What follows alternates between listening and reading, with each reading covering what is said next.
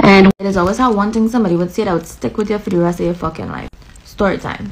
So a couple years ago, I met this guy and I fell in love. Like madly in love. I tell you, like stupid love. Like most men, homeboy pretend to be somebody he's not.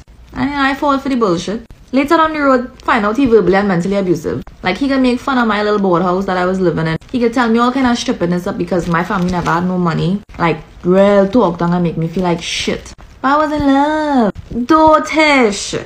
I said I will forgive him and help him to become a better person. He do some jackassness and decide to carry me out on a date to make up for it. We sit down in TGI's. This boy watch me in my face and tell me I could never get married to somebody like you. I cry.